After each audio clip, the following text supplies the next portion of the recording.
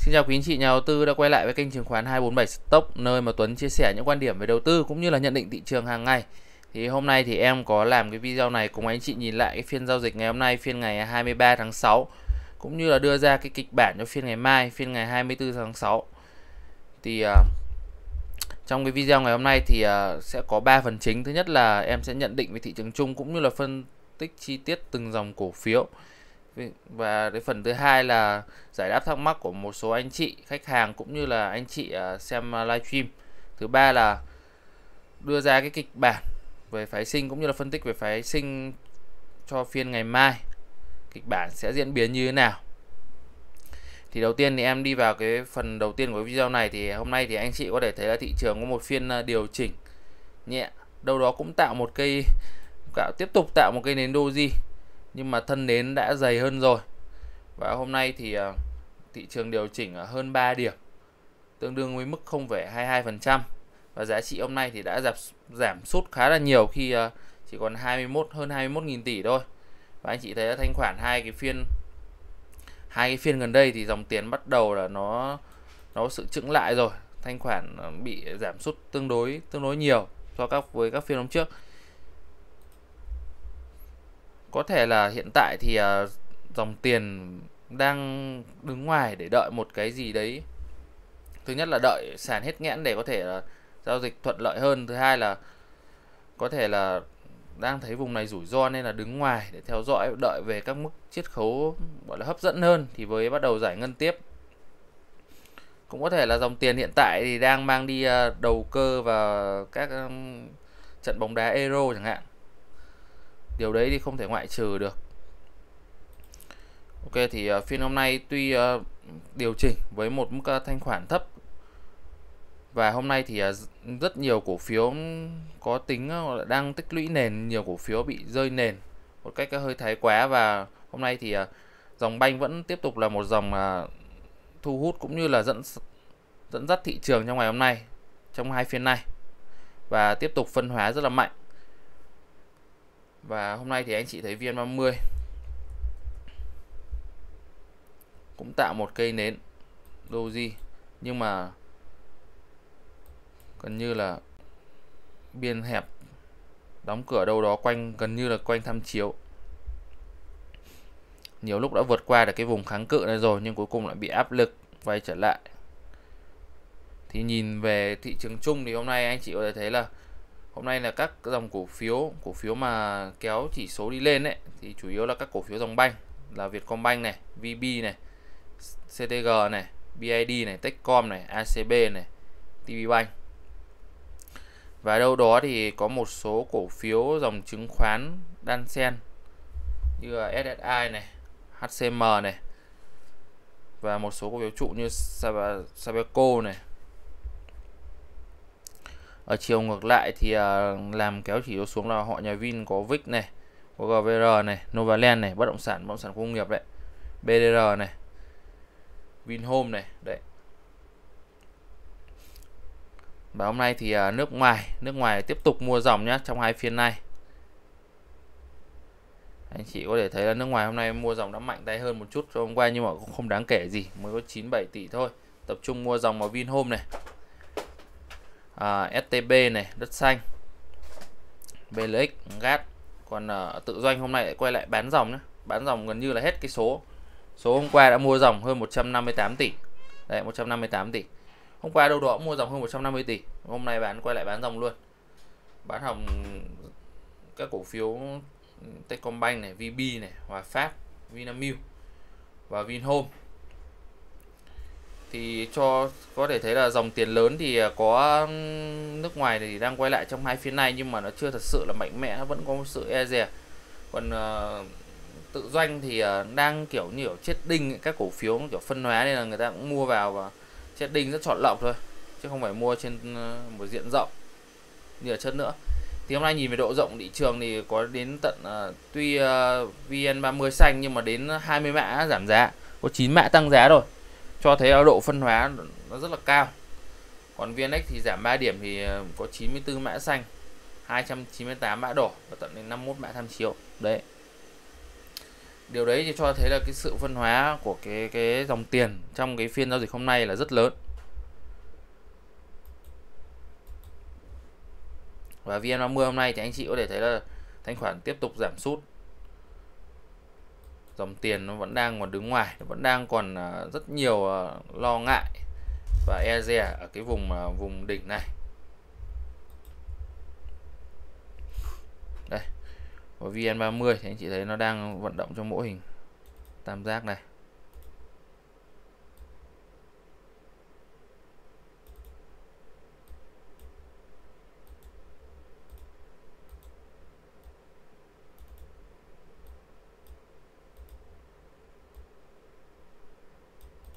Đấy.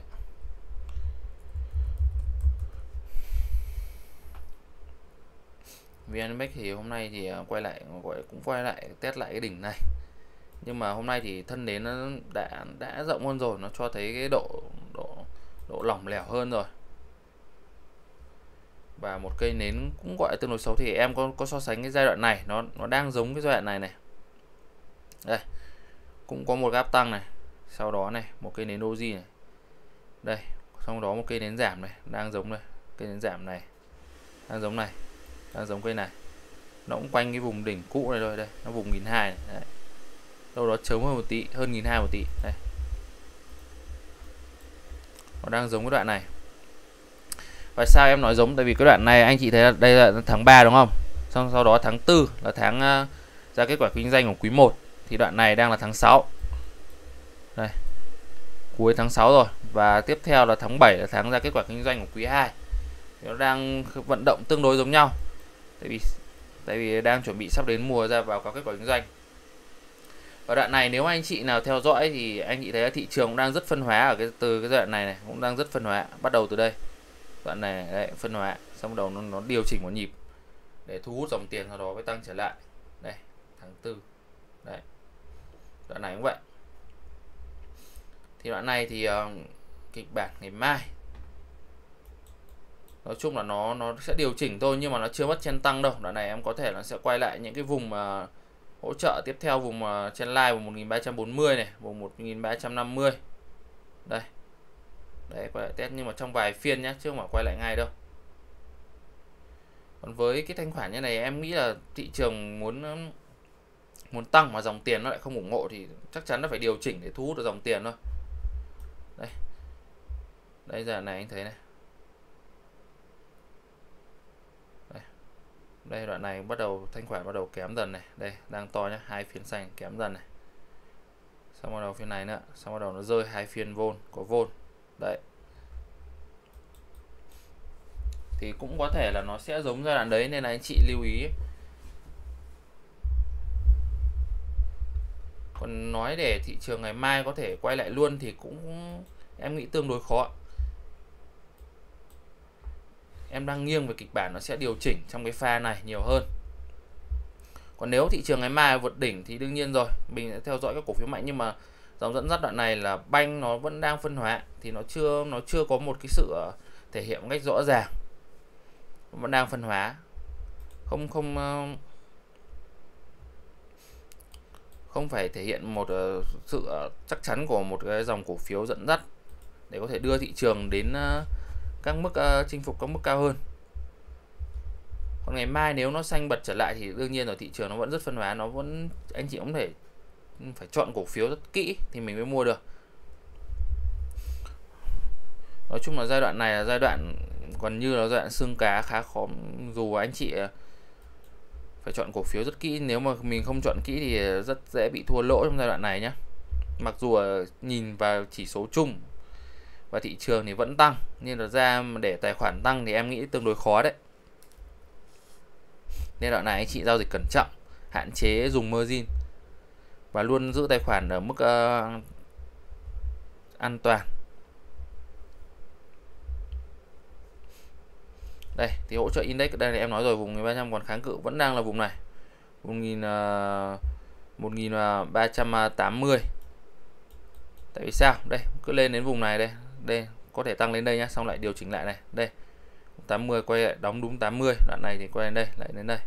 Thì 1380 vẫn đang là cái cái kháng cự ở thời gian hiện tại nhé thì ờ, đoạn này thì cây nến này đang giống thì anh chị theo dõi ngày mai có thể điều chỉnh nhá. Với cái áp lực này, tuy hôm nay giảm điểm không nhẹ đâu, nhưng mà nếu ngày mai là một cây nến giảm điểm mà nó có vôn lớn hơn hôm nay, là thị trường sẽ xác nhận một pha điều chỉnh ngắn hạn có thể về đến những cái vùng này. Test lại những vùng trên line tìm cái điểm cân bằng uh, cân bằng xa hơn ở vùng dưới này. Với đặt ra câu hỏi nếu mà thị trường ngày mai tăng thì sao thì anh chị có thể thấy cổ phiếu thì hiện tại thì cổ phiếu nào sẽ dẫn dắt nếu mà thị trường tăng? Anh chị phải đặt ra câu hỏi đấy. Thì mình trả lời câu hỏi đấy thì mới biết là thị trường mai sao có thể tăng được khi mà hầu như các cổ phiếu bây giờ nó phân hóa và không cổ phiếu nào có thể hiện cái cái sức mạnh của nó nó rõ ràng. Nó đang dòng tiền vào các cổ phiếu gần như cũng đang rất là chờ đợi, chưa chưa có gì cả. đây đây kịch bản của ngày mai để anh chị theo dõi nhé tiếp theo thì à, với VN30 thì nó hôm nay thì, nói về VN30 thì có, lại có một cái nền. Cái nền này tương đối đẹp đấy có thể ngày mai test đây test đây. Đấy. Kháng cự của VN30 vẫn là vùng này vùng 1500 nhá. Khi khi cứ tiến đến vùng này lại điều chỉnh. Đấy. Nên là nếu mà muốn vượt đỉnh thì VN30 phải vượt được 1500 ít nhất phải vượt được 1500 còn VN Index phải đóng cửa trên vùng, vùng 1380 đoạn này thị trường nhạy cảm cũng có thể là nó sẽ có kịch bản là sẽ đi ngang đây. Nhưng mà em nghĩ giai đoạn này thì uh, nó vẫn đang nếu mà đi ngang thì đây đi ngang ở đây thì uh, tương đối khó tại vì hôm nay có một cây nến. Anh chị thấy là nó khá lòng lẻo và áp lực. Áp lực hôm nay điều chỉnh cũng khá là lớn. Như cái video đầu hôm qua em nói là phái sinh hiện tại thì uh, nó đang trong cái video hôm qua, nhận định về phái sinh thì em nói là phái sinh nó đang có cái phân kỳ về giá. Thì đương nhiên là thị trường phái sinh mà điều chỉnh thì đương nhiên cơ sở đi theo rồi. Hôm nay tuy có hưng phấn nhé cuối cùng thì nó vẫn trong cuối phiên nó vẫn điều chỉnh. Đấy. Thì tiếp theo thì em làm rõ hơn cái điều này thì đầu tiên mình sẽ đi vào phân tích nhóm cổ phiếu đầu tiên, đó là nhóm banh nhé banh đầu tiên sẽ nói về Vietcombank hôm nay. Vietcombank thì hôm nay có phiên bật sau cái phiên hàng lớn về, điều chỉnh đỏ này sau đó bật trở lại. Thì target của Vietcombank em nói rồi, vùng 115 120 tiếp theo là BID này. BID thì quay, khi mà quay lại tiến tăng đến vùng đường MA20 này thì nó vẫn chưa qua được. Thì nó đang xu hướng tạo nền ở đây bây giờ nó bật qua đây, bật qua vườn ờ, vùng ờ, 46.5 thì anh chị có thể cân nhắc cân nhắc mình ờ, thăm dò được. Target là vùng đỉnh cũ trên đỉnh T cộng này vùng đỉnh này. Nếu vượt được thì mới lên các mốc cao hơn đối với BID tiếp theo là VPBank VPBank thì hôm nay thì nó có ra cái lên hẳn tới sự luôn đấy, về cái cái game tăng vốn của nó.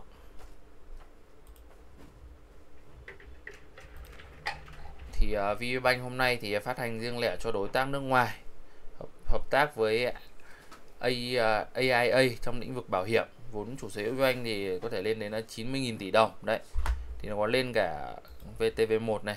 Còn cái lộ trình tăng vốn của VPBank thì nó, nó em phân tích qua một chút. Thì à, nó sẽ có kịch bản là kịch bản một là nó sẽ bao gồm phát hành cổ phiếu ESOP bán toàn bộ 75 triệu cổ phiếu quỹ chưa kịp phát hành riêng lẻ trong năm 2021 còn kịch bản 2 là nó sẽ như kịch bản ổn và kỳ phát hành cho đối tác riêng lẻ năm 2021 trong đó thì dự kiến là phát hành ESOP là giá trị là 150 tỷ. Và bán cổ phiếu quỹ thì giá trị hơn 6.000 tỷ 6.400 tỷ. Với bán ra nước ngoài với giá đâu đó rơi vào hơn 85.000 một cổ phiếu 85.000 đâu đó quanh 85.000 và lợi nhuận chuyển uh, lợi nhuận từ FE chuyển về là 3.600 tỷ. Lợi nhuận là 21 mà bao gồm ờ, của AI AIA đấy là 12.400 tỷ. Lợi nhuận từ thương vụ bán FE đấy FE ấy bán hơn ờ, uh, 49% đấy thu là 18.000 tỷ hơn 18.000 tỷ một tí. Và phát hành riêng lẻ cho nhà đầu tư nước ngoài full zoom 30% cho nhà đầu tư nước ngoài thì 19.000 à, hơn 19.200 tỷ. Đấy. Đấy là một số cái thông tin về cái cái cái cái cái cái cái, cái, cái game tăng vốn này của VBank. Thì VBank thì sau khi đoạn tạo nền thì hôm nay có tạo một gap tăng sau cái thông tin này. Tạo một gap tăng lên vùng này. Thì kháng cự nó đang vùng này thì anh chị nào đang tạo một gap thì có thể là nó sẽ sẽ mất thời gian gọi là gap nhé thì uh, anh chị nào mà mua VBank ở những vùng này thì uh, canh lên trên này mình sẽ chốt lời dần. Còn anh chị nào đã mua đua xe đoạn này mà nó thủng 68 mình bán rồi ấy thì đoạn này đợi nó vượt đỉnh. Vượt vùng 72 thì anh chị mua mới nhá. Đối với VBank nhá. Đấy đối với VBank Techcom này. Techcombank cũng nay một phiên tăng chạm đồng MA điều chỉnh lại. Banh thì đoạn này Techcombank thì đang vận động hơi yếu hơn so với các dòng banh. Dòng banh mạnh các cổ phiếu banh mạnh hiện tại đang đứng top trên là Vietcombank này MB Bank này. Bánh vượt đỉnh hôm nay có một cây nến điều chỉnh chưa gì xấu ạ? Target vẫn là vùng 40 45 nhé 45 48 đối MB uh, à, ACB này sau phiên điểm mua thì nó hôm nay nó bật tiếp đá tăng nhưng mà lại bị áp lực điều chỉnh vào cuối phiên.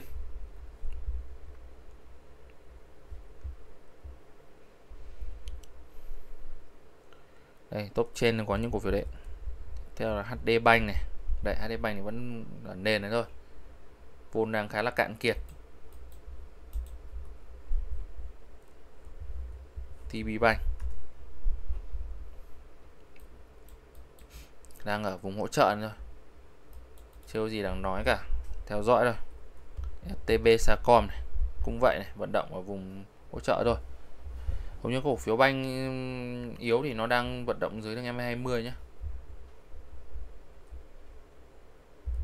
LB này cũng vậy này tương tự. Nói chung dòng banh anh chị thấy thanh khoản rất là rất là yếu. Chưa có gì à, chưa có gì ở quán cũng quán quan ờ, quan tâm vào giai đoạn này cả chỉ theo dõi thôi. Cổ phiếu mạnh thì như MB với SCB thì em cũng nhắc nhiều trong cái cái bản tin ờ, đầu tuần rồi cũng như là video hai cái buổi livestream lần trước rồi. Điểm mua giờ nó cũng qua rồi. Nên là anh chị chủ động nhá Vietcombank cũng cũng đã nhắc rồi. À, tiếp theo thì em sẽ đến với một dòng cổ phiếu thứ hai hôm nay cũng vận động tương đối tích cực đó là dòng chứng khoán. Chứng khoán thì hôm nay có HCM này. Sau khi tích lũy tích lũy đâu đó hơn một tuần thì đã bật nền ngắn, tích lũy nền ngắn sau đã bật. Nhưng mà thanh khoản thì thật sự là chưa chưa đạt. Sau đó bị áp lực ờ, chốt lời quay trở lại thì HCM giai đoạn này thì nó đang thể hiện một cái sức mạnh khá là tốt trong dòng chứng khoán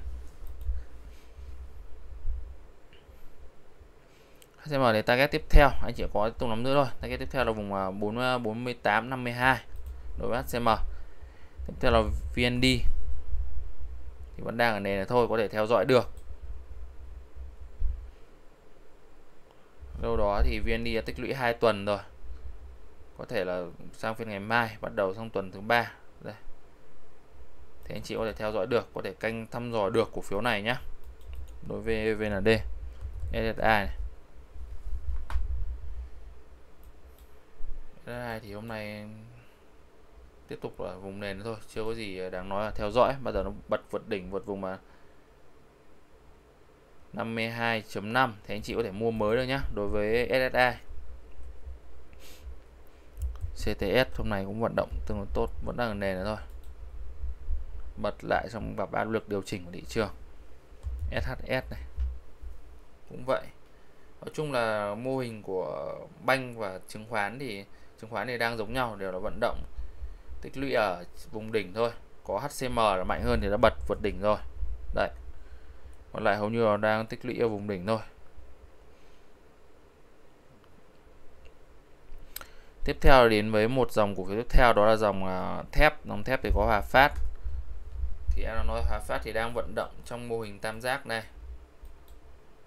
Thì nó sẽ cần đi ngang ở đây, tầm 1 phiên này, đây thêm một phiên nữa một hai phiên nữa xong nó bật. Bật và tăng lên vùng 53 thì thì anh chị có thể canh uh, à, mua thăm dò được nhé khi mà nó hoàn thiện mô hình tam giác này thì target của nó sẽ là vùng uh, thứ nhất là vùng đỉnh vùng 56 này tiếp theo là vùng à, uh, 60 đối với Hòa Phát. Hòa Phát thì sang tuần nó sẽ niêm yết hơn một triệu cổ phiếu để cổ trả cổ tức cho nhà đầu tư ấy. cũng là một tỷ một tỷ một tỷ cổ phiếu. Sau đây em nhầm một tỷ cổ phiếu uh, niêm yết uh, trên sàn thì ờ, hàng cổ tức về có thể sẽ giao dịch được luôn thì cũng có thể nó sẽ bị áp lực nếu mà nó giữ tốt ở vùng giá này. Và nó break vượt vùng này và hoàn thành hoàn thiện cái mẫu hình tam giác này. Hòa Phát thì hiện tại này anh chị nào có thì vẫn tiếp tục nắm giữ nhá. Chưa gì xấu cả đang vận động khá là chặt chẽ ở vùng này. Ok tiếp theo đến Hoa Sen này. Hoa thì à, nó bật vượt đỉnh xong nó quay lại, test lại nền thôi. Chưa có gì xấu cả. Nếu mà thủng vùng à, 40.5 thì anh chị canh bán nhé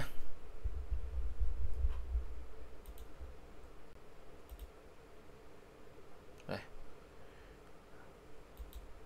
còn thủng à, nói chung là ba phiên điều chỉnh này của ASEAN thì vô không quá lớn. Có thể ngày mai nó về nền này nó sẽ bật trở lại nếu mà nó nó nó thể hiện sức mạnh tốt thì ASEAN mai nó cần phải thể hiện một phiên bật trở lại luôn. Chứ nếu một phiên đỏ nữa thì nó yếu rồi. Em nghĩ nhất nên bán một phần hai nếu mai mai mai đỏ. Kể cả nó chưa thủng vùng em, đường em 20 này nhé anh chị cũng nên bán. Nam Kim thì nói chung là nó dòng thép thì Hòa Phát, Hoa Sen thôi. Còn mấy cổ phiếu thép dưới thì nó yếu em thì nên theo dõi thôi. Chưa nên chưa nên quan tâm vội. À, vừa nãy ở dòng chứng khoán cũng có một cổ phiếu hôm nay nó tính đầu cơ bật khá đẹp đó là SBS em quên mất quên mất chơi điểm cho anh chị. Hôm nay SBS cũng là một phiên điểm mua nhá. Cổ phiếu này thì phù hợp với anh chị nào tài khoản size nhỏ hơn. Nó tại vì tính đầu cơ nó cao và nó nó, nó thanh tài khoản size nhỏ hơn. Thì hôm nay phiên điểm mua target tiếp theo là vùng uh, 10 16 này 10, 18 mỗi cổ phiếu này.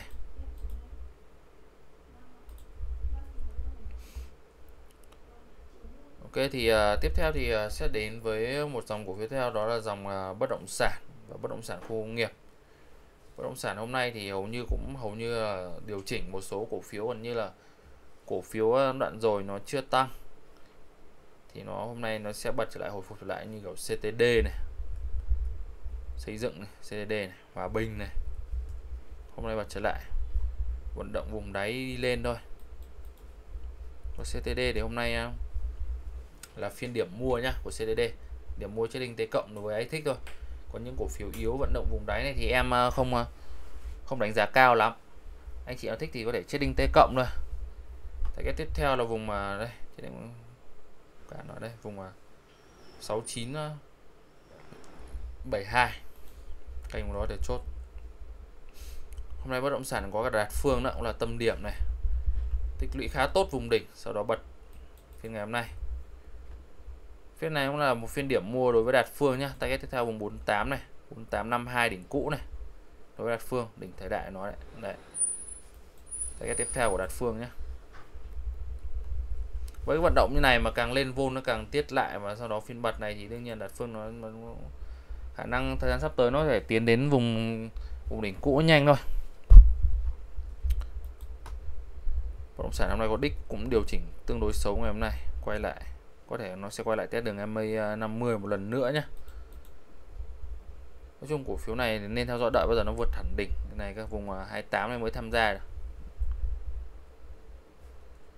đất xanh này. Còn anh chị nào đang có đích thì uh, nếu mà nó quay lại đây vì anh chị mua ở những điểm dưới này thì canh nó thủng. Thùng đường M50 này, anh chị đã bán hết nhá, vùng 25 HTC này, vẫn duy trì sức mạnh thôi, khá là chặt chẽ.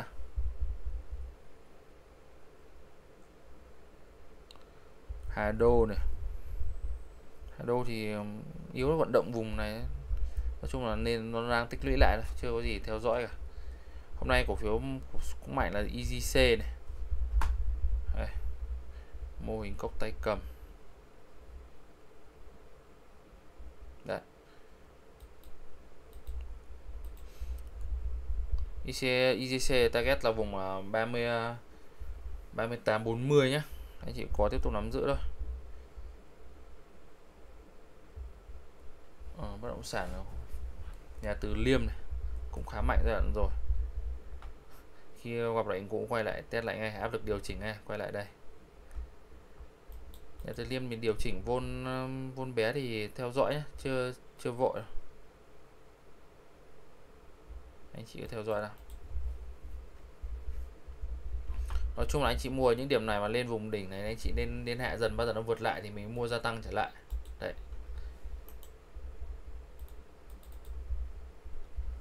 Bất động sản thì nó cũng đang rất phân hóa nhé bất động sản khu nghiệp thì có GVR mạnh giai đoạn rồi này, hôm nay cũng điều chỉnh này.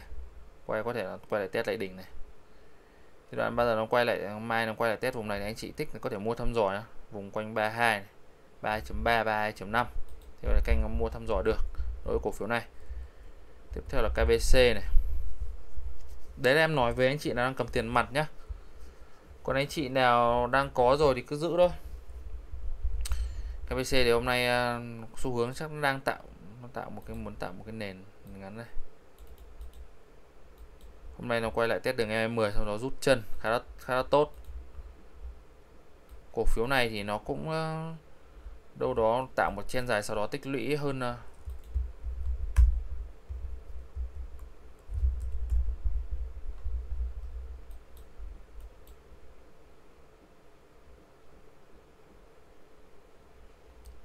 đây tích lũy 4 tháng này. 4 tháng này vận động 4 tháng này sau đó quay trở lại.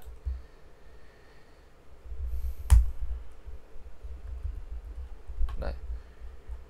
Thì uh, KBC target tiếp theo vẫn là vùng đấy, vùng uh, em nói rồi vùng uh, 42 45 nói chung là nó vượt được vùng 42 này anh chị có thể canh mua mới được nhé mua mới được với KBC nhé SSC này. SC hôm nay đang đang đi xuống đi nền tự nhiên là có một cái đến về MA20 rút chân lên ngày mai. Với áp lực bán này có thể nó sẽ quay lại tiếp tục thêm một đà giảm đấy nhé sau đó rút chân lên thì là đẹp nhất. Còn không thì nó sẽ quay về phải một điểm cân bằng xa hơn vùng MA50 này cơ. Tại vì hôm nay rơi vôn hơi cũng tương đối lớn mà sự hồi phục không mạnh lắm. Cái mang tiếp tục là một phiên điều chỉnh. Nên anh chị có thể theo anh nhiều có em nghĩ nên nên hạ đi nên bán đi. Trong phiên ngày hôm nay rồi. Phiên ngày mai thì uh, anh chị nếu mà nó xanh thì anh chị nên nên nên nên hạ nhá. Còn nó rơi luôn, ví dụ nó rơi luôn về đây. Thì anh chị đợi bây giờ nó hồi, trong phiên kiểu gì nó kể nó rơi luôn, thì trong phiên kiểu gì có nhịp hồi lên thì anh chị bắt đầu lúc đấy bán. Trừ khi là anh chị dùng căng margin thì phải bán ngay từ đầu thôi, hạ bớt xong sau đó nó hồi lên hạ tiếp. Đấy. Ờ, ở IDC này. IDC thì nó vẫn đang ở vùng nền này đấy, con này tương đối khó nghĩ tại vì hàng của anh Tuấn thì đánh, Tuấn mượt đánh tương đối khó chịu như kiểu những con như kiểu gách này IDC này IGC này, kiểu liên quan đến anh Tuấn mượt đấy TDC này đều rất khó chịu. Thật ra hôm nay thì nếu mà xét về mặt bằng chung ấy thì ờ, con IDC lại không điều chỉnh. Nó coi như cũng tương đối mạnh trong dòng công nghiệp. Và hôm nay thì con IDC này có một cái lệnh thỏa thuận tương đối nhiều. Nếu mà nó giữ vùng nền này thì khả năng đoạn sau nó sẽ tăng tăng tăng lên được vùng đỉnh cũ này thì anh chị nào để an toàn thì anh chị nên đợi nó vượt hẳn vùng à 41 thì anh chị mua mới nhá. 41 vùng này thì mua mới. Không thì cứ theo dõi thôi, chưa vội đâu.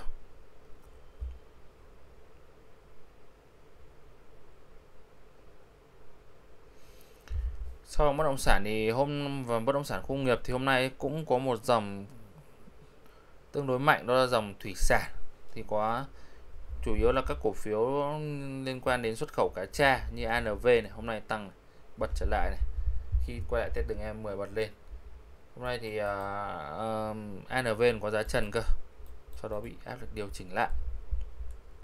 VSC cũng rút chân khá là tốt. Đấy. Chạm em rút chân tương đối đẹp.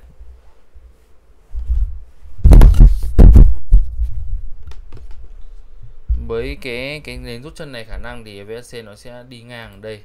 Sau nó bật nhá.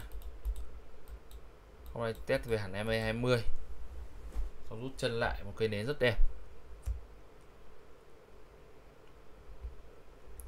MVC này, Minh Phú này, cũng vậy. Hôm nay thủy sản hồi phục, rút chân lại tương đối tốt. CMX này. CMX thì yếu hơn. CMX thì nó vẫn đang ở nền này thôi không phải quá xấu. Anh chỉ có vẫn nắm giữ được. Thùng à, 15 thì anh chị bán hết.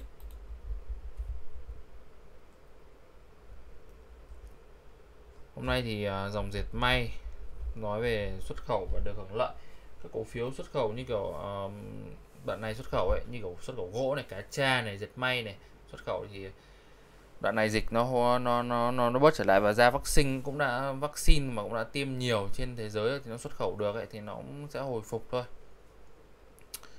Vì Việt Nam vào EVFTA mà thì nó cũng được hưởng lợi ở những cái cái giai đoạn sắp tới này khi mà dịch đã đã đã kiểm soát được.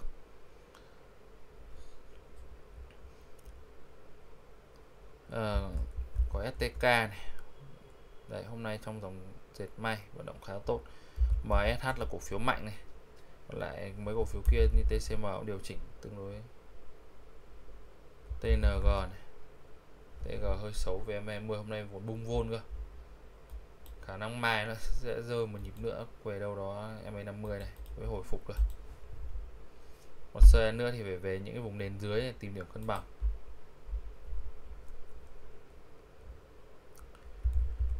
Q Q thì vẫn là nền này thôi. Từ khi mà nó ra cái cái cái cái cái thông tin mà phát hành riêng lẻ cho cổ đông đấy thì uh, thì uh, ngay lập tức bị mấy cái phiên này bán gần như là gần như là 15% doanh nghiệp rồi. Phát hành cho cổ đông giá 15 mà. Xung đột lợi cho cổ đông. Và ban lãnh đạo khá là mafia. Nên là nó thể hiện ngay vào giá cổ phiếu rồi. Ban lãnh đạo không tốt thì cổ phiếu rất khó tăng tại vì ai chẳng ai đã dạy gì đi đầu tư vào một công ty như vậy cả. Nên là không thu hút được dòng tiền. Mặc dù đoạn trên là đang tích lũy rất tốt nhá bật này.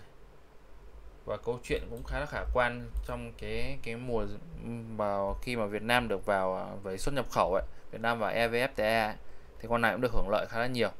Anh chỉ thấy nó tăng đây từ cái vùng này lên tận đây một chen tăng khá dài nếu mà không có cái thông tin này chắc nó phải tăng đến khi 99 tận 90 thậm chí là 100 luôn đấy đối với con này.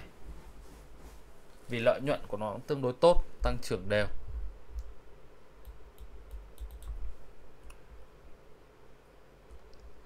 Ok thì uh, tiếp theo xuất khẩu có cặp phú tài nữa. Phú tài gỗ thì không bằng uh, hôm nay quay lại test thôi. Phiên hàng lớn về điều chỉnh ok. Vuông con này chưa có gì cả. Hay chỉ có tiếp tục nắm giữ thôi. GDT này. Đấy, mấy con về gỗ cũng tương đối mạnh.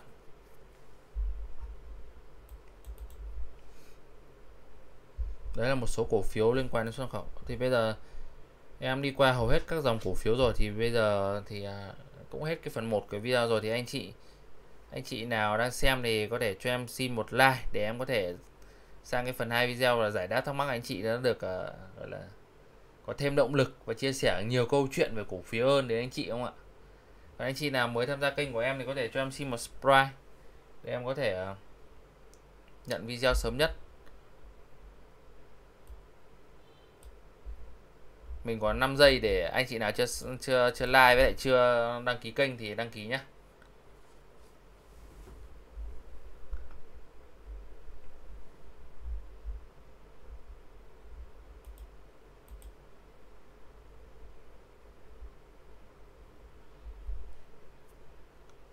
Ok năm thì bây giờ em sang phần à, 2 của video này giải đáp thắc mắc cho anh chị. Um, Anh Minh có hỏi về CTG, BVB và TSC à? Đây CTG.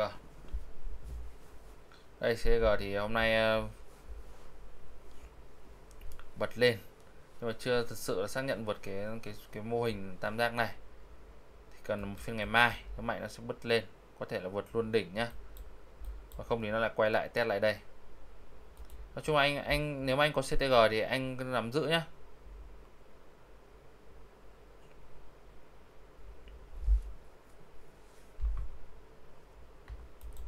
Đang vận động CTG là một cổ phiếu tương đối mạnh trong dòng bay. Nó tạo đây. Hai đỉnh, xong tạo hai đáy rồi đây là thứ ba này. Đấy, đi lên. Thì anh có, anh cứ tiếp tục nắm giữ nhá target là vùng 50 55 58 đối với CTG BVB BV thì à, đây. Nó vẫn chưa thoát được cái chen giảm nhá, vẫn ở trong này. Và giờ bật qua cái đường chen line này cơ. Nói chung là có BVB thì à, nói chung là vẫn nắm giữ được. Nếu anh mua ở những cái vùng nền dưới này, còn anh mua ở những cái cây này thì em nghĩ là nên hạ đi, cơ cấu sang mã khác tại dầu khí thì uh, mã mạnh thì chỉ có BVT này. Đấy BSR này và BVS đâu đó có gas nữa. Là bốn cổ phiếu mạnh thì anh có thể quan tâm. Đấy còn mấy cổ phiếu kia thì đang hơi yếu. Em nghĩ anh nên cơ cấu. TSC à? TSC thì con này tương đối đầu cơ đang đang vào đà giảm rồi nếu anh mua thì em nghĩ anh nên nên nên nên bán nhá. Con mấy con đầu cơ này nó tạo toàn tạo một đỉnh thôi. Đây chị anh xem lại lịch sử của nó thì cũng thấy. Con này game gì đó liên quan đến fit em nhớ không nhầm. Đây, tăng toàn tăng một mạch tạo một đỉnh rồi thì em nghĩ là anh nên nên có cổ phiếu này, anh nên nên hạ nhá. Đây, đoạn này mọi đây. Lên tạo một đỉnh rồi phát luôn về nền này. Đây, xong mới tăng.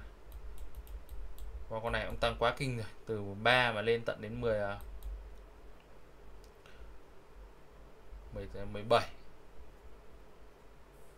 đâu đó gần gần 6 lần đến nơi đây là em nghĩ là anh có thì nên hạ. Nó đang đà giảm này.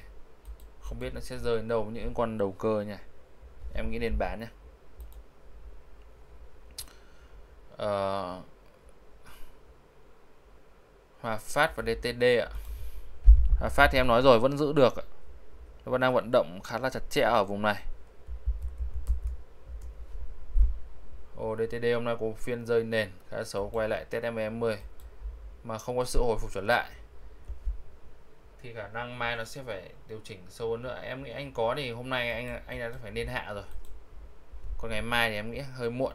Ngày mai nếu mà nó giảm luôn thì anh nên đợi nó có nhịp hồi trong phiên anh bán. Nói chung là nên cơ cấu nhé đối với DTD à, VGS và CTR VGS là thép nhỏ rồi nói chung VGS này thì đang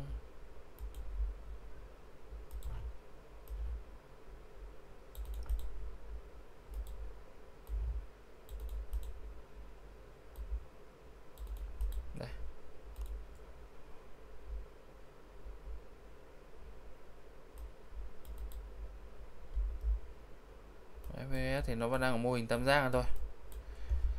Con ờ, uh, VGS này thì uh, nói chung anh có thì vẫn giữ được tại vì nó vẫn đang ở nền thôi. Nếu anh mua ở vùng nền này thì anh có vẫn giữ được. Thủng vùng uh, 18.7 18 thủng 18.5 thì anh nên bán hết nhá.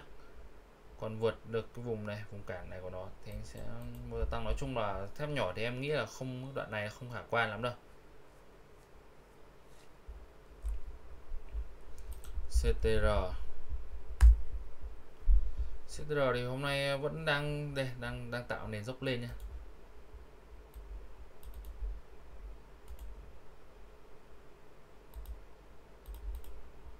có vẫn tiếp tục giữ được, target là vùng đỉnh cũ, vùng 7 78 78.5 và được vùng này target 9 85 90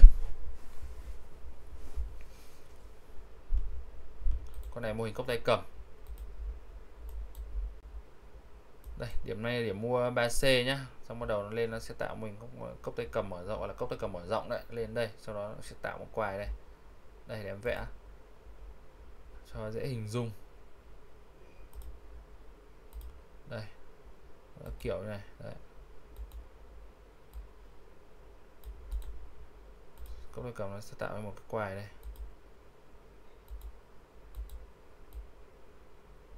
Đấy kiểu vậy đấy.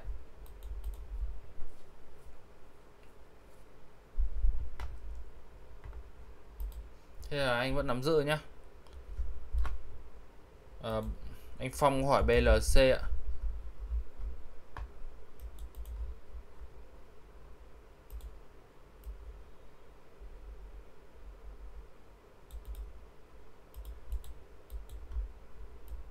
BLC thì ờ, nó làm về nhựa đường.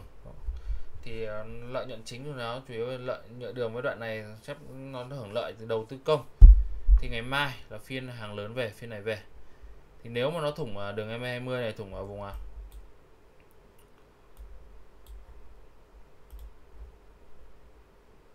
thủng vùng 26 26.26.8 thì anh nên bán hết nhá.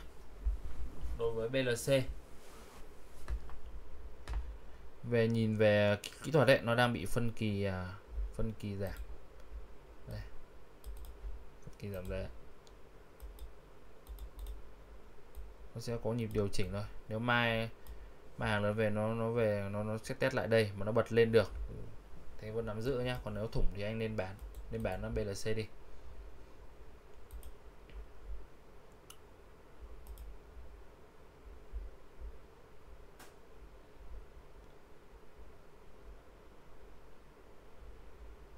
Ở Hòa Phát thì à, chị Thủy hỏi Hòa Phát thì Hòa Phát em ờ, vẫn giữ được nhá.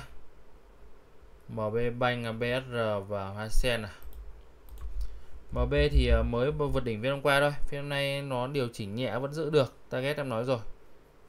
Vùng 45 48 BSR BSR cũng là một cổ phiếu mạnh trong dòng dầu khí. Hôm nay điều chỉnh. Ok vẫn theo dõi được. Có thể nó sẽ tạo một cái nền đây nữa nền bé đây. Xong tăng tiếp được nói chung là dầu khí đoạn này nó tăng nó nó nó sẽ là kiểu tăng từ từ chứ nó không phải tăng tăng tăng tốc như tăng mạnh như cái đoạn này được đó nha Đấy, chị, bây giờ thì ờ, có vẫn nắm giữ nhá. Target là vùng mà 20 20 24 26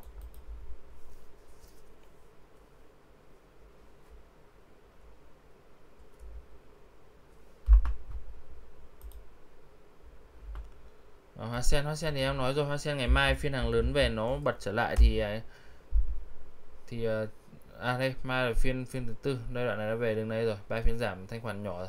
Mạnh thì mai nó quay lại nó test đây xong nó nó bật trở lại thì à, chị vẫn giữ được nhé còn nếu mai đỏ mà không hồi phục ở cái đường MA20 này thì chị ít nhất nên bán một nửa còn thủng đường MA20 thì bán hết.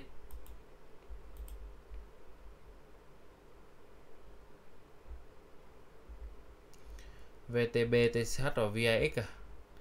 Anh có vẻ cầm hơi nhiều bạn VTB à? Viettel Post à? Viettel Post thì à, đây. Bảo trên rồi đang hồi phục về vùng nền này. Target của nó thì đây. Lên vùng này thì anh nên hạ dần nha vùng 86 87 này. 87 90 này nên hạ dần rồi. Còn ok hiện tại vẫn đang giữ được nhá chưa có gì xấu cả. TCH TCH thì bật một phiên, sau đó phiên này về nền luôn rồi. Nói chung là những cổ phiếu như TCH nó vận động ở vùng đáy này. Thì thường khi mà thị trường bao giờ kiểu hết sóng đến bắt đầu Benny chạy chạy một mạch kiểu như này. Đấy, chạy kiểu này. Không không rồi chạy lên tận 40 cái đoạn này đây đấy. Nó cứ đi ngang này nó dũng giật nó lên, xong lại rũ, xong lại lên. Đấy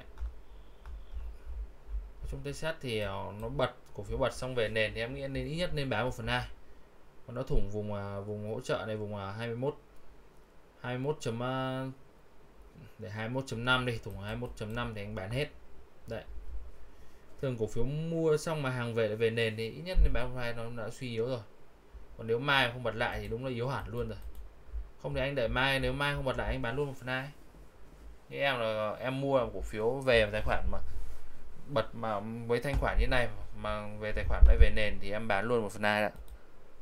Còn lại một phần hai thì giữ xem thế nào VX VX thì con này tương đối đầu cơ con này thì em thấy khá nhiều anh chị thích tại vì nó vẽ báo cáo tài chính khá đẹp. Và đoạn rồi nó tăng đầu cơ khá mạnh. Nói chung là VX thì uh, nếu anh mua những cái vùng nền dưới này ok vẫn giữ được thủng à, vùng à, 27.5 thì anh bán hết nói chung là nó vẫn chưa thoát được chân giảm đâu với con này Đấy.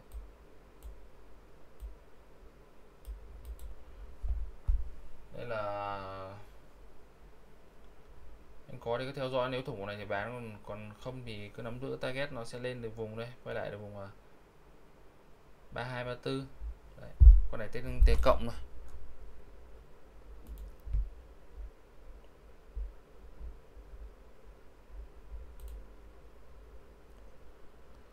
Ờ, chị Hằng có hỏi SSI, VSC và Nam Long ạ. VSC thì em nói em có phân tích rồi, VSC vẫn giữ đường nó rút chân hôm nay khá đẹp. ICB với Techcombank.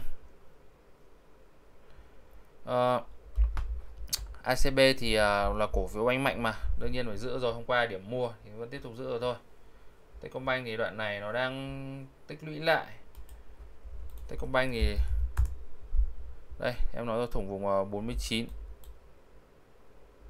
chấm 5 thì anh ờ, chị nên bán hết nhá. Có thể về vùng 47 thậm chí là xa hơn để nó cân bằng lại. SSI thì uh, có thì cứ tiếp tục nắm giữ thôi. Nếu mà vượt vùng uh, vùng 52 thì chị uh, 52.5 đi thì chị có thể mua gia tăng được. Đấy còn thủng M20 này thủng vùng 47 thì chị à, bán hết nhá. Nam Long à? Ở Nam Long thì ờ, phiên bật lại về nền nói chung là tương đối yếu. Thì theo em thì chị có bán ít nhất 1 phần 2 đi đã. Nếu nó thủng vùng ờ, 38 thì chị bán hết đối với Nam Long. Nhá. Ok thì uh, nếu anh chị không còn câu hỏi nào nữa thì em sẽ đến cái phần 3 của video này. Còn anh chị nào chưa kịp hỏi thì có thể comment nhé bên dưới cái video này thì tí nữa em không trả lời em sẽ quay lại trả lời. Nếu không kịp thì em sẽ trả lời comment của anh chị nhé Rồi, ờ, tiếp theo đến phần 3 của video này là về phái sinh. Để em bật cái đồ thị phái sinh để anh chị theo dõi.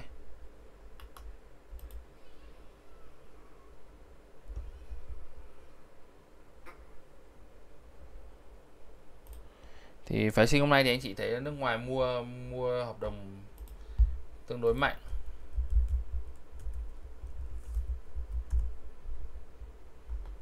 Riêng phiên hôm nay thôi thì nước ngoài đã mua dòng đâu đó hơn um, 1.700 tầm 1.700 hợp đồng. Và với lũy kế hiện tại thì nó đã mua đâu đó gần 4.000 hợp đồng rồi, hơn 3.000 hơn 3.000 tầm 4.000 hợp đồng rồi 4.000 hợp đồng lo. Đến thời điểm hiện tại theo thống kê của em và hiện tại về phái sinh thì em nói rồi, nó vẫn đang vận động theo mô hình tam giác nhé. Nghĩa là xu hướng đang sideways biến động, hẹp dần đấy.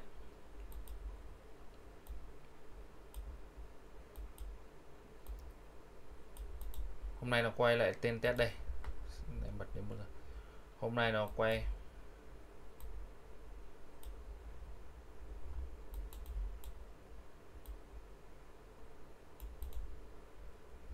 hôm nay quay lên test này không qua được, quay lại lại điều chỉnh.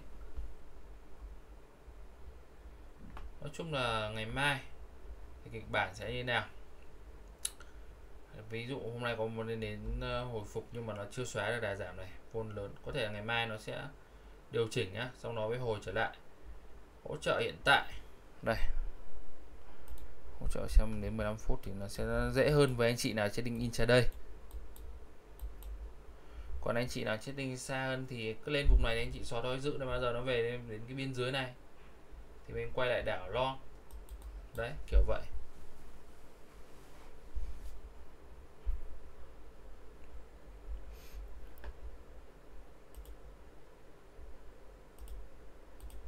Đây. Hỗ trợ thứ nhất của vùng ở 1475 à, đây hỗ trợ. Đây, hỗ trợ thứ hai là vùng 1480 1480 84 hôm nay nó quay lại test à, đây, đâu đó ba lần, rút chân lên. Thì tối nay, hiện tại xem thế giới vận động nào. Tối qua sau phiên hồi thì thế giới đã điều chỉnh. Đấy, tí đem một cái đồ thị của của của của Dow Jones để anh chị có thể theo dõi được.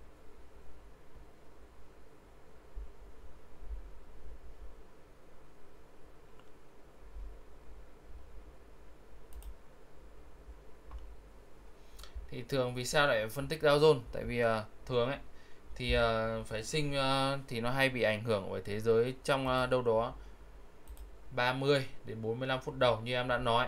Sau đó nó mới quay lại đúng cái xu hướng của nó được. Nên là anh chị xem Dow Jones để có thể là mình sẽ nếu mà đang xu hướng giảm mà tự nhiên lại có gap tăng thì mình sẽ có lợi để mình có thể tham gia sọt vào phiên ngày mai. Ví dụ vậy còn gấp gấp giảm mà mình đang canh long thì mình đã có lợi thế thì mình sẽ canh long nhé.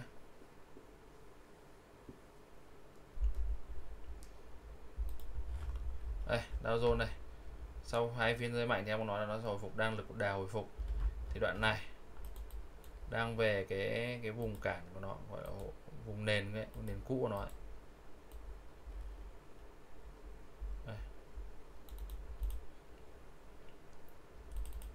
Đây, chị này vô hồi phục về có thể nó sẽ hồi tiếp, mai cũng phải xanh lên va lên vùng bên trên nhé đâu đó 34.234 nghìn thì tiếp tục có thể kỳ vọng là Dow Jones sẽ có một ờ, phiên ờ, xanh nhẹ. Đây, chị thường thấy đây. Điều chỉnh này, về này, bật lên này. Đấy. có thể kỳ vọng tiếp là Dow Jones ờ, nói chung là hiện tại Dow Jones sẽ không biến động mạnh đâu nó chỉ xanh nhẹ hoặc là đỏ nhẹ thôi. Thì nếu xanh nhẹ đỏ nhẹ thì ừ, phái sinh thì nó chỉ ảnh hưởng giảm tầm mép tầm một hai điểm thôi. Nếu mà không mạnh thì nó sẽ chỉ ờ, thậm chí mở luôn giá tham chiếu đây. Nên là chị theo dõi nhé nói chung là đoạn này thì đoạn này đang biên giới sẽ canh ờ, về những vùng này mình canh lo nhé còn sọt sẽ ăn những nhịp ngắn thôi. Về các vùng hỗ trợ như em nói đây vùng 1000 uh, 4 480 vùng 1000 uh, 475 đấy. Canh ăn nhịp sọt ngắn này, sau đó canh à, long trở lại. Thì đoạn này cũng đang là vùng à, vùng biên, sắp đến vùng biên dưới nó rồi. Đoạn này, đoạn giữa thì, đoạn này giữa thì à, hiện tại chưa nên, anh chị chưa nên mở vị thế vội nhé mình cứ đợi lên những cái biên trên hoặc biên dưới để mình canh canh canh vào vị thế. Tại vì sao? Vào những vị thế này thì sẽ đỡ rủi ro. Ví dụ anh chị sọt ở đây đúng không? Ví dụ nhá anh chị đặt slot là nó vượt cái break nó vượt ở cái vùng cản này thì mình sẽ cắt đúng không? Thì mình đâu đó cắt lót tầm 3 điểm thôi. Mà nếu mình ăn được thì chắc chắn nó sẽ về những cái vùng giữa này ít nhất vùng giữa này hoặc biên dưới này. Thì mình đâu đó phải ăn được đâu đó từ 1050 này về đây. Tầm 10 20 điểm thậm chí là 40 50 điểm đấy. Thì lợi nhuận nó sẽ lớn hơn rủi ro rất là nhiều. Còn nếu ví dụ nó break lên thì anh chị đảo đảo sang uh, long luôn đấy thì nếu nó break được cái vùng này thì target nó ít nhất phải lên tầm 20 30 điểm 50 điểm của 1550 luôn. Đấy. Đấy em nói nói về xa nhá. Cái xu hướng xa nhá. Ok. Thì video của em thì đến đây em kết thúc thì uh, anh chị nào thấy hữu ích thì có thể cho em xin một like một chia sẻ để lan tỏa video này đến nhiều anh chị nhà đầu tư hơn anh chị nào mới tham gia kênh của em thì có muốn nhận video và nhận thông báo thì có thể cho em xin một đăng ký kênh cũng như là ấn hình quả chuông bên cạnh thì khi nào em livestream thì nó sẽ thông báo đến anh chị. À, cảm ơn anh chị rất nhiều. Hẹn anh chị vào các video lần sau. Chúc anh chị buổi tối tốt lành.